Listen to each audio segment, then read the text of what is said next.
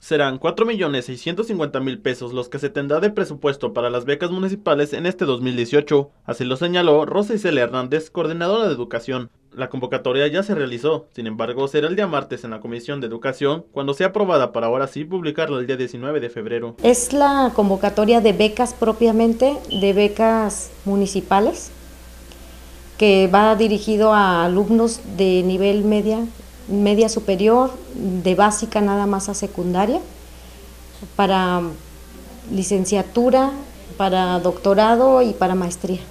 ¿Cuántas becas se pretenden entregar este año, coordinadora, a comparación del año pasado? Pretendemos que sea más o menos un promedio de, do, de 2.900 becas. En el 2017 se lograron entregar 2.855 becas con un presupuesto de 4.500.000 pesos. Pues ahorita vamos a, a, ver, de hecho se cubrió todo, el, eh, todo el, el presupuesto. El problema de lo que quedó de remanente fue de las becas que no cobraron. O sea, ya se les asignó folio y todo y no vinieron a cobrar.